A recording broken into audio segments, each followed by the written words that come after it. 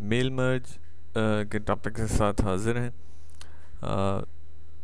Example letter हमने इस वक्त ड्राफ्ट किया हुआ है, जिसमें डिफरेंट डिफरेंट पोस्ट पे अपॉइंटमेंट हमने दिए हैं कुछ लोगों को।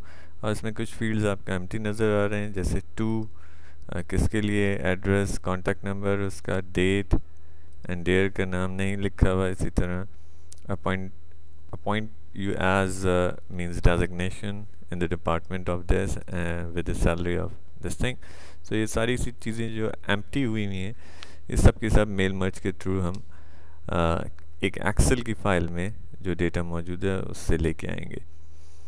डेफिनेटली uh, वो डेटा भी आपके पास पहले से मौजूद होना चाहिए। डेटा कुछ इस तरह से रेफरेंस नंबर है डेट है नेम है एड्रेस है कॉन्टैक्ट नंबर है designation department salary preparation period and location. एक सैंपल डेटा है हम इस फ़ाइल को अब क्लोज कर देंगे एक्सेल की और वर्ड पे वापस आते हैं वर्ड की फ़ाइल पे जिससे हमें ये काम करना है। ना मेल मर्ज स्टार्ट करने के लिए हमें मेलिंग पे जाना पड़ेगा माइक्रोसॉफ्ट वर्ड 2007 में। And start mail merge wizard जैसे क्लिक करेंगे, कई ऑप्शंस आ रहे हैं, इनमें से हम किसी पे फ़िलहाल बात नहीं करेंगे, सिवाय लेटर्स के। So step by step mail merge wizard पे चले जाते हैं। क्लिक करते हैं तो एक विंडो यहाँ पे ओपन हो गई और जिसमें सेलेक्टेड आ रहा है कि आपको लेटर बनाना है। जी हाँ डेफिनेटली हमें लेटर बनाना है। कह रहे कि जो जो करंट डॉक्यूमेंट है, इसी के ऊपर आप मेल मर्ज करेंगे। डेफिनेट बिल्कुल हम इसी पे करना चाह रहे हैं। नेक्स्ट पूछ रहे कि फ़ाइल कहाँ मौजूद है, जिसमें डेटा मौजूद है, जिसमें नाम एड्रेस टेलीफोन नंबर और डेजिग्नेशन वगैरह से रिलेटेड इन्फॉर्मेशन है। सो हम ब्राउज़ कराते हैं और हम लोकेशन इसको बता देते हैं।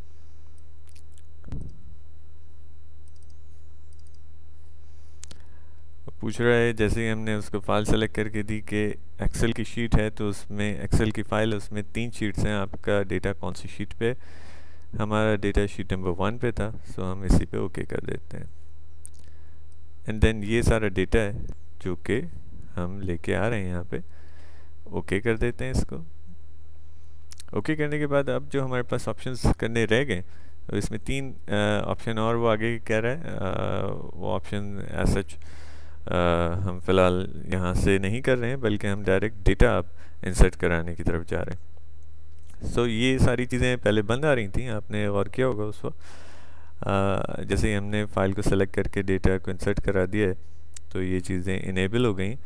एंड नाउ हम मेल मर्ज स्टार्ट कर रहे हैं। क्लिक किया। ये रेफरेंस नंबर हमारी वहाँ पे एक्सेल की फ़ाइल की, का जो टाइटल था एक्सेल की फ़ाइल के अंदर जो टाइटल कॉलम का टाइटल था, वो है। सो रेफरेंस नंबर बिल्कुल हम इस रेफरेंस नंबर के आगे आके खड़े होते हैं और रेफरेंस नंबर पे क्लिक कर देते हैं। सो ये कुछ इस तरह से एक चीज़ बनी हुई आ रही है। हम थोड़ी देर में इसको अभी देख लेते हैं। ये क्या है? टू मिस्टर और मिस सो नेम की बात हो रही है असल में। नेम यहाँ पे लगा देते हैं। एड्रेस? एड्रेस हमारे पास मौजूद है। Contact number is our contact underscore number. From H R manager, this is constant. Date? Date and appointment as ये डेजिग्नेशन होगा। Now, dare, dear uh,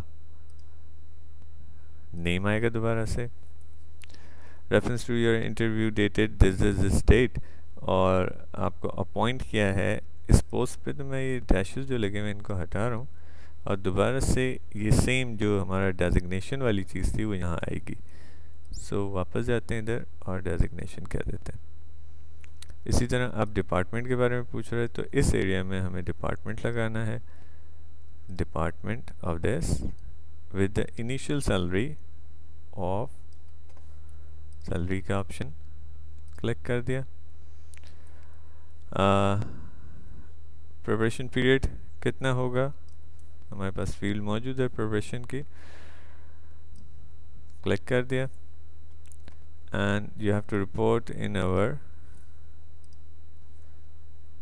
location location means कौन सा ऑफ़िस में हम इससे कह रहे हैं कि रिपोर्ट कराने का।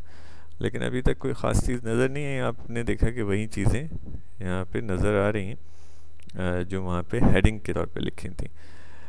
बट सिर्फ़ हमें प्रीव्यू रिज़ल्ट करना रह गया है। क्लिक करते हैं। एंड सबसे पहला जो हमारे पास रिकॉर्ड है, ये अरीन का है, जो कि उनका एड्रेस लिखा हुआ है टेलीफोन नंबर लिखा हुआ आ रहा है डेट लिखी हुई आ रही है। अपॉइंटमेंट एज फाइनेंस ऑफिसर इनका हुआ है और डेयर अरीन एंड अब सारी चीज़ें हमारे सामने रुपीज़ एटी थाउज़ेंड पर मंथ पे इनको uh, हमने हायर किया है with six months preparation period and arrange you have to report at our head office. The second आप देख रहे हैं डेटा चेंज हो रहा है। थर्ड फोर्थ ये सारी चीज़ें चेंज हो रही हैं यहाँ पे। Fifth six and seventh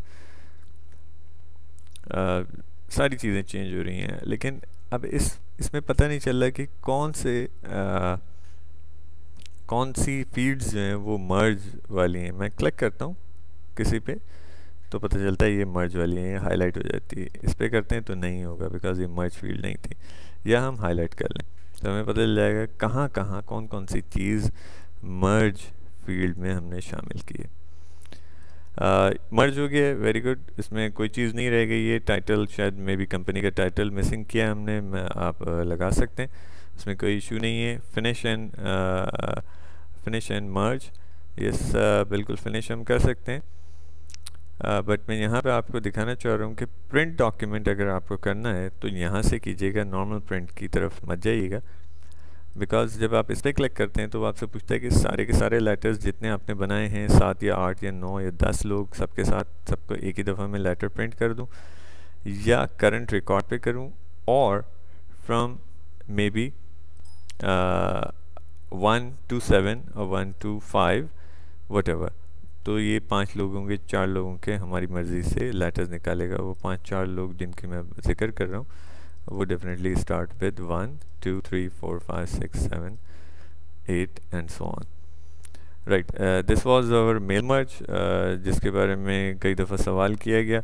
I uh, believe के uh, मेरी कोशिश थी कि इसको सही से समझा सकूँ बट अगर आपको स्टिल कोई इसमें प्रॉब्लम लगता है तो आप मेल कर सकते हैं मुझे। मेलिंग एड्रेस मेरा लिखा हुआ अभी अब सामने आ रहा है।